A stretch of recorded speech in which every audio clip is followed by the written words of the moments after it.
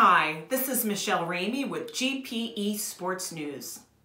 In advance of the 2020 Summer Olympics, Dominique Dawes, retired artistic gymnast and the first black Olympian to win gold in gymnastics, has announced she will be opening her own gymnastics academy later this spring. The move was inspired by the Me Too movement and her own four children.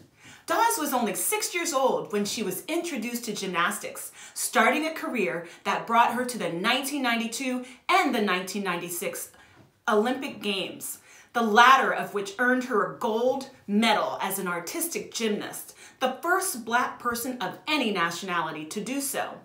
After walking out and back into playing for the national team, she retired from competition at the age of 23. After pursuing careers in modeling and acting, and acting as co-chair of the President's Council on Physical Fitness, Sports and Health in 2010, Dawes was inducted into the Montgomery County Sports Hall of Fame in 2019 to honor her history. Now, she continues her work to build her own academy in the county she grew up in as a youngster. This has been a GPE Sports News announcement. I'm Michelle Ramey. Have a great day.